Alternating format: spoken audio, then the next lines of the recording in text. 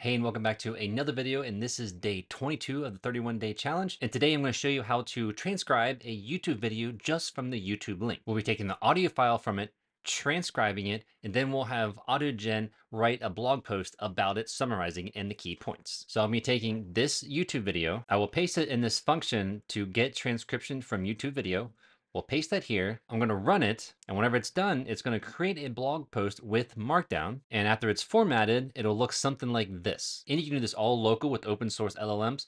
Let's get coding. All right, well, the first thing is I'll use Ollama as an example this time for a local server to have a locally hosted open source LLM. You'll go to ollama.ai, or I guess now it's ollama.com, click download, and then choose whichever machine you're running, and then download that version of Ollama. Once you're done, and installed it, it'll probably auto run. I know it's running when I see a little llama symbol up here on my Mac. Okay, so I had this set up to where you can either use a GPT, which you'll need an open API key for, or you have to give the model the base URL if you want to use Ollama. So we first have our imports. I'm going to load .env because we're going to be creating a .env file for all of our properties. So over in our .env file, I have an open API key the model, and the base URL here. So you can choose if you want to use Ollama or ChatGPT. And if you're using Ollama, you have to specify the model that you're going to use. And then we created a functions file where I have a function to get transcription from the YouTube video and I pass in the YouTube video here. Once you create a functions.py file, we need to import the YouTube loader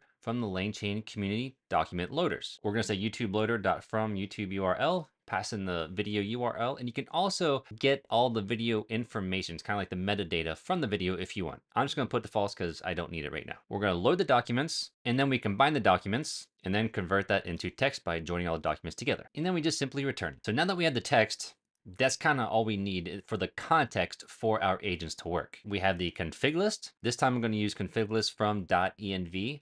Again, .env meaning the literal file name .env that we have up here. We create the LLM config. I have a writer assistant agent, which basically says they're a professional writer. And then I have a user proxy agent. And then finally, I just want to say user proxy.initiate chat with the writer.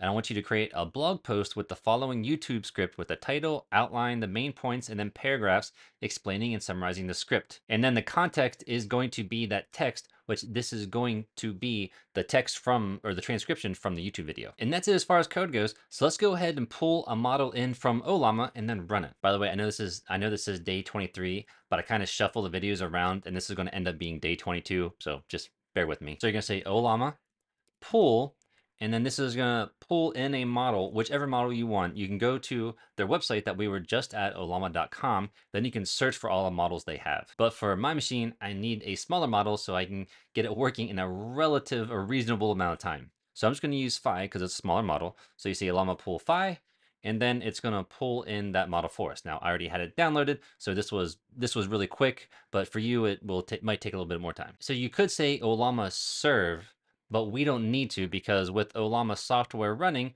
we already have it serving a local server for us. We just pulled a model in for it. And now all we need to do to run it is say Python 3 main.py. Click enter, and then I'll be back whenever it's finished. Okay, it's finished. And again, this is what it's going to look like. I take the markdown here, and then in PyCharm, it automatically gives you a side-by-side -side view of uh, the preview of what that markdown looks like. Now, I didn't save the file to example.markdown. It didn't create that file. I just did that so you could see what um, see that it worked properly. Okay, great. Now, this is actually part one of two. What I'm going to do in the second part of the video is I'm actually going to use the Gmail API so that's going to create this blog post and then you can tell it that you wanted to send an email in a prompt that you want to send an email into what user or users. And if you want to uh, carbon copy anybody or BCC, whatever you want to do. That takes a little bit more work. We are going to use a Gmail LangChain tool, but you also need to enable the Gmail API. So we'll go over that in another video and get that set up. But the first part was that we need to actually get the transcript from a YouTube video. Okay, again, this is day 22. We are almost into the last quarter of the 31 day challenge. It's been a lot, but thank you for sticking with me. Here are some more videos on AutoGen. If you if you miss some of the days, that's okay. I just appreciate any support you give me. Put your comments or thoughts down below in the comments section. Thank you for watching, and I'll see you next video.